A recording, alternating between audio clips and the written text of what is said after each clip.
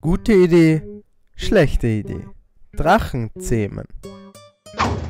Tolle Idee, zu seinem Drachen nett und höflich sein.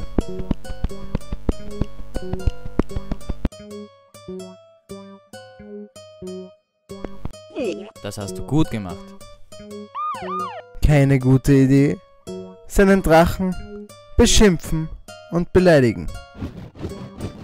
Das ist eine Sauerei, dass du immer alles falsch machen musst.